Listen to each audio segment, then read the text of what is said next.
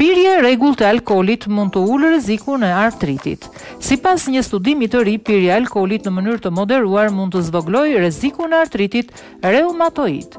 Disa konsumues të rregullt të alkoolit kishin gati gjysmën e shanseve për të zhvilluar gjendjen paralizuese, sesa ata që pinë rrallë. Hulumtuesit zbuluan lidhjen pas kryerjes së një rishikimi të gjerë të studimeve të mëparshme që shihnin rolin e alkoolit dhe artritit reumatoid.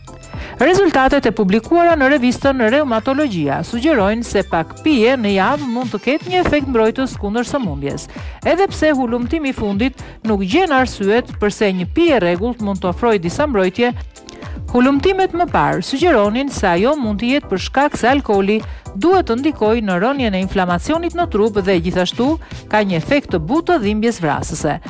Artriti reumatoid është shkaktuar kur sistemi imunitar shkon në veprim të panevojshëm, duke sulmuar nyjet dhe nganjëherë pjesë të tjera të trupit.